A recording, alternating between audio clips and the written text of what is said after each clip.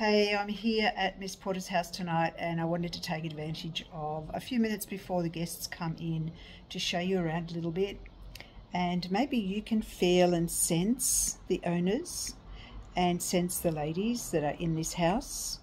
Uh, it is notoriously haunted, uh, but it is haunted by the most beautiful souls.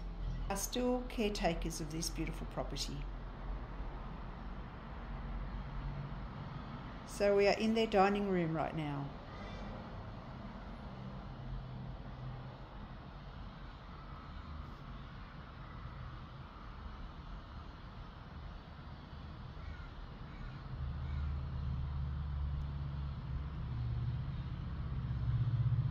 and we're moving into their kitchen area.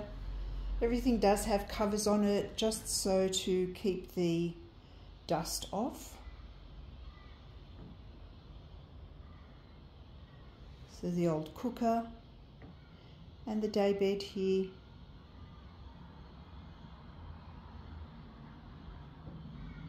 This is where I first spotted one of the sisters on the day bed. and this is where I had to ask permission to come in and uh, do these tours here.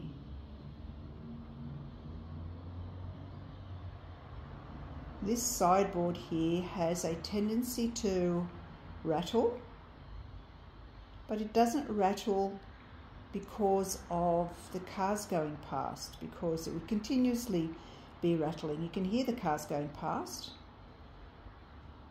and it doesn't but every so often it will rattle as though someone is opening the cupboard doors.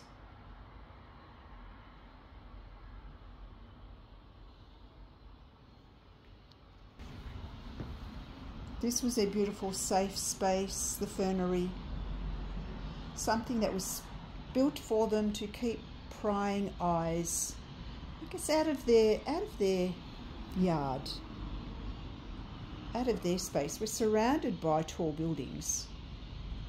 They would have wanted to have some privacy. Move on back into the house.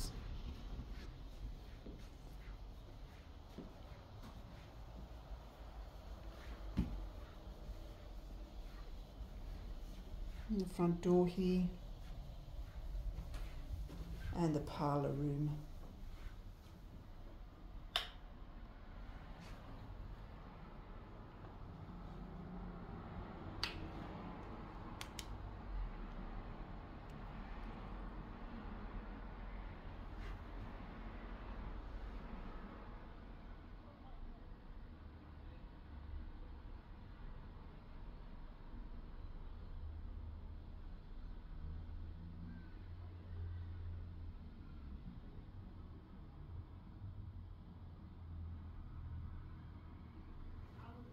Some of their bits and pieces here. I think you can see the memorial plaque for Herbert Porter and Florence just there. And other bits and pieces. If you ever feel like coming in on their open day, all of that will be shown to you.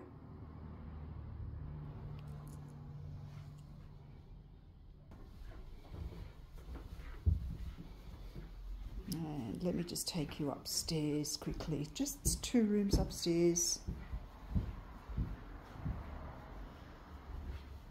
So two bedrooms and REM pods on these stairs are very, very active.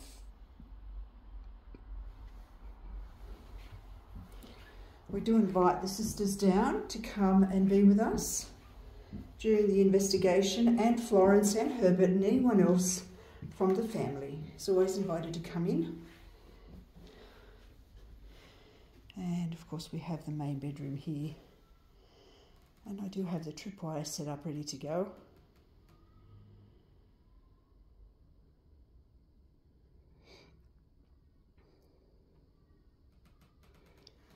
And through to the other side, the other bedroom and this sort of goes out onto a little balcony out the front here, uh, which goes out onto one of the main streets that goes into Newcastle.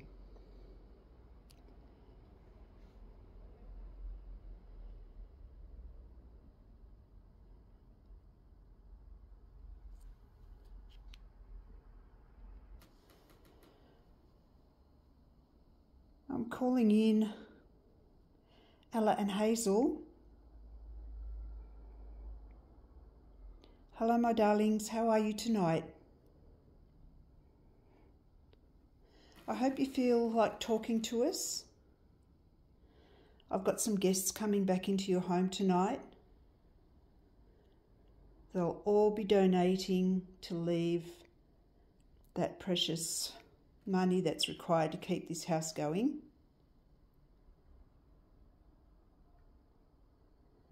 I hope you can say hello to them through the lights here. And you know what to do. I'm wondering whether you can actually say hello to me while I'm here right now.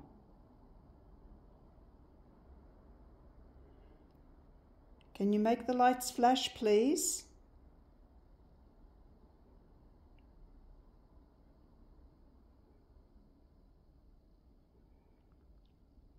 Your home looks beautiful tonight, as usual. The volunteers look after it they have a great love for your place and a respect for everything that is here. Could you thank you? I know you're glad that they do. I'm glad that you've acknowledged as well. I'll let them know. I'll pass on your message. Thank you so much for that.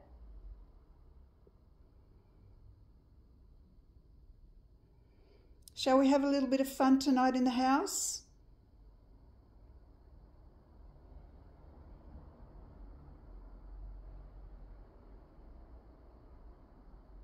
To let everyone know that you're still here, still looking after everything.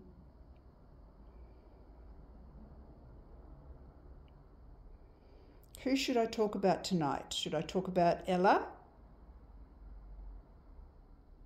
and Hazel. And Florence, are you here as well?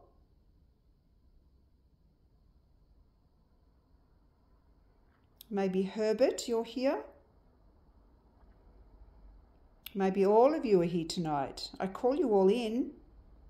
You are very welcome to be here.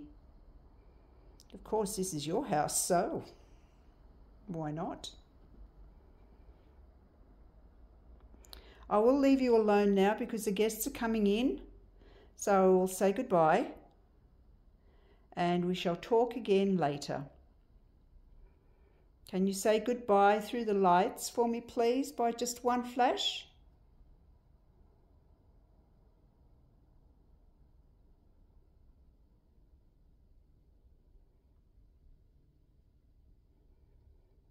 No, that's okay.